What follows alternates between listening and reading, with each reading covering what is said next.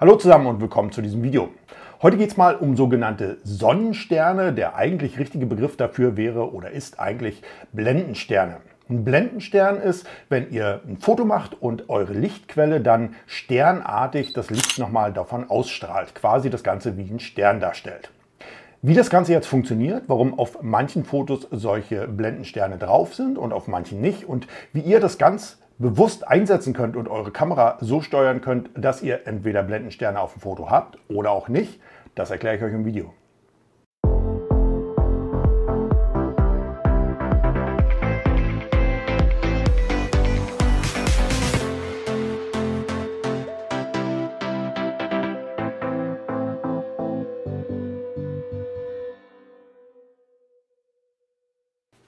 Warum heißt das Ganze jetzt Blendenstern? Blendenstern heißt es, da dieser Effekt, diese Streuung des Lichts, was aussieht wie ein Stern, nicht vom Objekt selber ausgeht, also zum Beispiel von der Straßenlaterne oder wenn ihr die aufgehende Sonne fotografiert, sondern dieser Effekt entsteht in eurem Objektiv.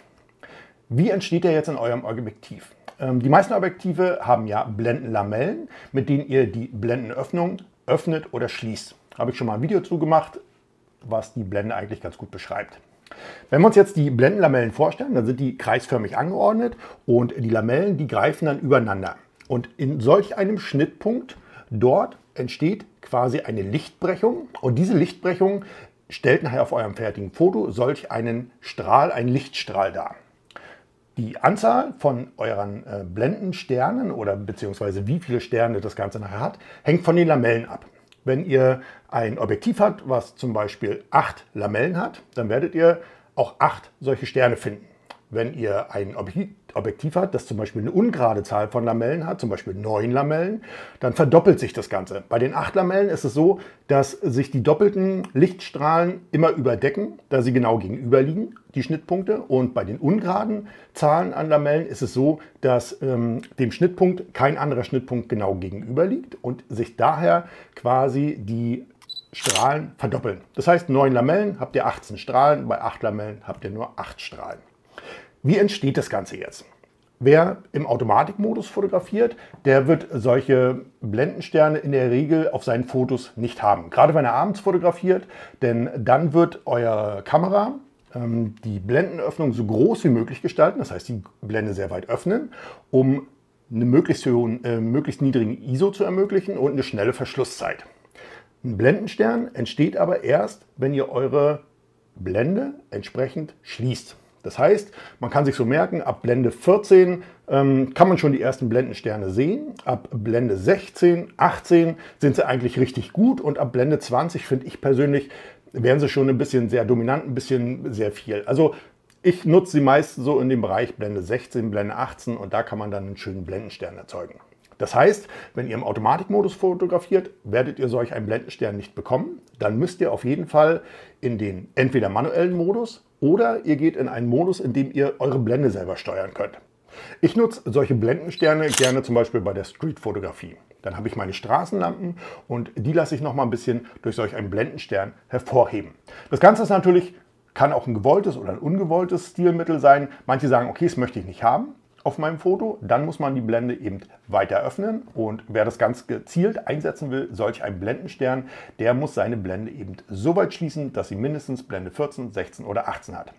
Gerade wenn ihr jetzt abends fotografiert, ist es dann natürlich erforderlich, dass ihr ein Stativ mitnehmt, denn ihr werdet eine sehr lange Belichtung haben. Ich habe teilweise Fotos, wo ich lange belichte, manchmal 20 Sekunden und um da dann entsprechend schön Blendenstern auch zu bekommen. Und da ist auf jeden Fall wichtig, dass ihr ein Stativ mit habt. Das heißt, wenn ihr schon im Vornherein wisst, okay, ich möchte jetzt abends irgendwo Lampen oder so fotografieren, die am Straßenrand stehen ähm, und ich möchte da auf jeden Fall einen Blendenstern mit bei haben, dann ist es wichtig, Stativ mit einpacken. Nicht vergessen. Außer Hand werdet ihr es sonst nicht bekommen oder zumindest verwackelt das Ganze dann. Und das ist ja auf dem Foto auch nicht gewollt. Mittlerweile gibt es natürlich auch Software und auch Overlay-Pakete. Das heißt, so ein Overlay-Paket, da habe ich einen fertigen Blendenstern, den kann ich dann nachher zum Beispiel in Photoshop auf mein eigentliches Bild drauflegen und habe dann so einen entsprechenden Blendenstern. Aber Luminar zum Beispiel bietet noch eine andere Funktion an. Äh, da gibt es richtig eine Funktion, die heißt Sonnenstrahlen. Da kann ich dann quasi auf mein Bild sagen, okay, dort ist die Mitte meiner Lichtquelle und dann habe ich den gleichen Effekt wie bei so einem Blendenstern. Aber wenn man es natürlich weiß, wie es funktioniert, dann muss man das nicht nachträglich machen, sondern kann man das wirklich für sich nutzen, weil man eben weiß, wie es funktioniert. Also, zusammenfassend, wenn ihr solch einen Blendenstern fotografieren wollt als Stilmittel, müsst ihr in jedem Fall aus dem Automatikmodus eurer Kamera herausgehen. Ihr müsst den entweder komplett manuellen Modus wählen oder ihr nehmt einen Modus, in dem ihr auf jeden Fall Einfluss auf eure Blende habt. Dann die Blende auf Blende 14, 16, 18 einstellen. Das müsst ihr mal probieren. Die Blendensterne sind auch je nach Objektiv, nach Vergütung des Objektives auch ähm, auf einer anderen Blende 16 oder 18 oder vielleicht auch 20 besser zu sehen. Bei mir ist es so Blende 16, 18. Und wenn ihr das steuert, dann Kamera aufs Stativ, eine schöne Langzeitbelichtung abends machen und dann bekommt ihr auch coole Fotos mit solchen Blendensternen hin. Vielleicht habt ihr selbst jetzt schon solche Blendensterne mal fotografiert, vielleicht beabsichtigt oder unbeabsichtigt oder ihr setzt sie ganz gezielt ein. Dann lasst mir doch gerne mal einen Kommentar da, wann ihr das Ganze verwendet, vielleicht beim Sonnenaufgang, Sonnenuntergang oder vielleicht auch nachts, wenn ihr nur Straßenlaternen mit drauf habt und das Ganze noch betonen wollt, so wie ich das zum Beispiel mache. Lasst mir gerne einen Kommentar da, wann ihr das verwendet, wie ihr es verwendet, welche Blendeneinstellungen habt ihr bei eurer Kombination vom äh, Kamera und Objektiv und vielleicht ist es ja auch mal eine Anregung für ein künftiges Foto bei euch. Wie gesagt, lasst mir gerne dazu mal einen Kommentar da. Ansonsten, wenn euch das Video gefallen hat und auch eine Anregung gegeben hat, vielleicht für ein neues Fotoprojekt, dann lasst mir gerne fürs Video einen Daumen hoch da. Und wenn wir uns in einem meiner nächsten Videos wiedersehen wollen, dann abonniert doch gerne meinen Kanal. In diesem Sinne, bis dahin.